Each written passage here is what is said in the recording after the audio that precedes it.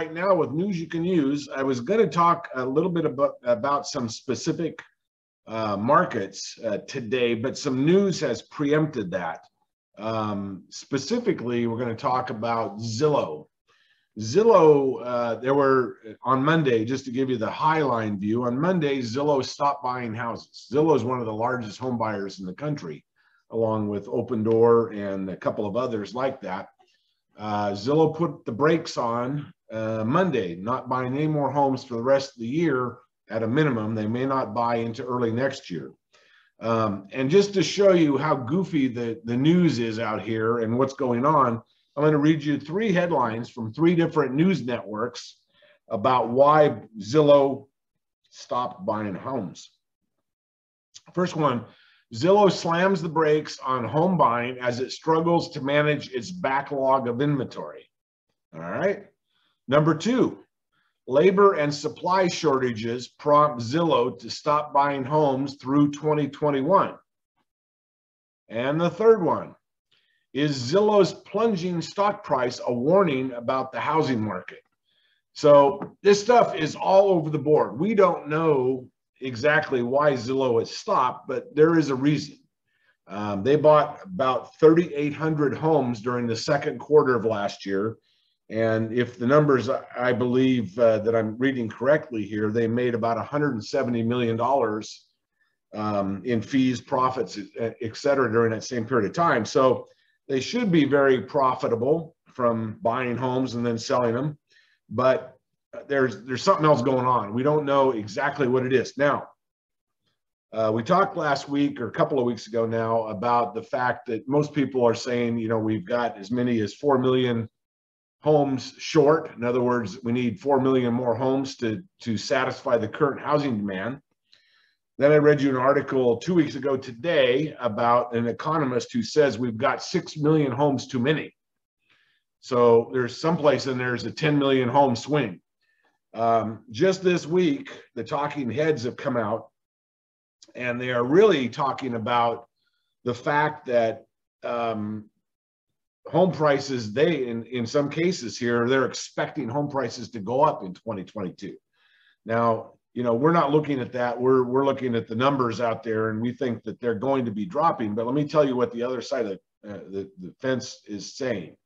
Um, I'm going to give you quotes. And this is an article about Goldman Sachs um, how high do they predict the home prices will go in 2022? The bottom line, Goldman Sachs is saying double digit increases again next year. Specifically, they think, and, they, and these guys are the most far out there in terms of price increases. They think that home prices will soar 16% in 2022. That's significantly more than any year we've ever had, including the last one, for home price increases. Um, along with them, we've got other talking heads out there. Uh, and let me find this link here and I'll tell you what, um, what we've got.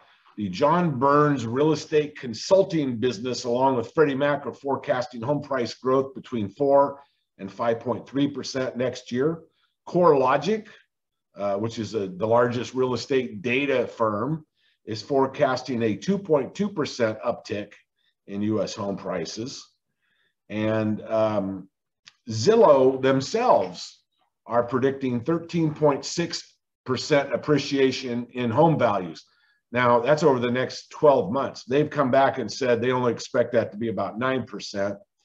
But there's as many people talking about a price decrease in the next 12 months now as there are an increase. So we are, we've got, in, in the 22 years I've been in this business, I've never seen such a diverse uh, spread of opinions on this thing. Is the market going to go up dramatically? Is it going to drop dramatically? Or what's going to happen?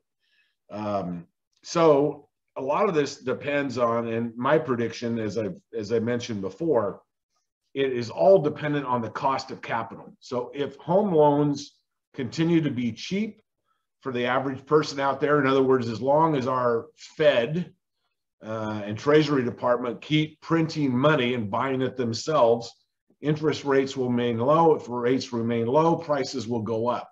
If interest rates even hint that they're no longer going to stay low. In other words, if there's a any kind of a rise or even a the, the rumor of a rise in interest rates, I think that's going to plug up the market. Um, I've never also seen anything like this. We're, we're finding hyper locality differences in markets.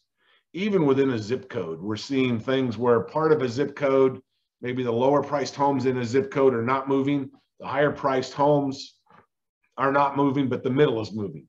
Uh, other areas we're seeing the high end homes uh, are the only things that are moving, and they're moving at multiple offers and, and above asking price in a lot of cases. These would be areas we talked about this before. For example, east of Sacramento, there's an area called Folsom, El Dorado Hills, real high end area. People are migrating from the San Francisco Bay Area over here. It's about two hours away drive wise um, and they can get twice as much home for the same amount of money. Uh, it's more in nature, great views, less pollution, less people, you know, and so at the higher end, it's easy for someone to spend a million six on a home in El Dorado Hills when they just picked up $3 million from selling their home in San Jose. And you're, you're seeing that kind of thing go on too. That's not indicative of the overall general real estate market in the US. It is indicative of what we call hyper localized markets. So the bottom line is I don't have a bottom line here. I, I, I, don't have a great prediction anymore because there's as many talking heads predicting the market's going to drop as there is that it's going to, um, you know, go down. Uh, I mean, go up. And uh, some of these guys are flip flopping. But I think the most telling thing that I've seen is the fact that Zillow has decided to stop buying properties. Now, if they're making money buying properties and flipping properties like they've always made, there should be no problem with them continuing on. So one of two things has happened. Either, you know, their their investors, their capital has fled and believes that it is not going to be a good market, has taken their money out so that Zillow has no funds to spend, or they know something that they're not telling everybody else. Um, and that that thing I would predict would be the fact that their inventory is starting to stack up. They bought a lot of stuff. Uh, they bought 3,800 homes. They sold 2,600 homes, and they made 170 million dollars. So there's a thousand homes that got bought that didn't get sold. That's about 40% of what they bought. That's a lot. That's quite a bit. And you know, there we may see a slowdown in the market. Maybe they're seeing it. They could be the canary in the mine shaft. Um, but it's interesting when you see three different networks put a completely different spin on this thing. Is it has to do with the fact that there's plumbing and steel shortages? Does it have to do with the fact they bought too much? Or does it have to do with the fact that, you know, so on and so forth? I mean, they, they all come up with different reasons. Uh, just means nobody doesn't know. The thing we do know, they're not buying houses. They've stopped buying for this year. So um, generally, when the biggest in the market stops buying, it would be like Homes of America, which is one of the largest that buys rental homes. If they were to stop buying, that would be a something we should focus on and keep our, our eyes and attention on. I'll let you guys know, as we always do, uh, as we get more information, more clarity. But I'm sticking with the uh, what I've said before. This thing is all tied to not only the economy, but the, the cost and availability of funds. And if we continue as a government to print money and buy it ourselves and put it out there cheap, you know, home prices could go up more than they are today. Uh, but the minute they they start indicating that they're going to raise rates, even if it doesn't going to happen for six more months, if they say now, you know, in, by March we're going to be raising rates, that'll stop that thing just like that. I predict. So that's that's my prediction here on the 21st of October 2021. So we'll see what happens. All right, let's get on to the calls.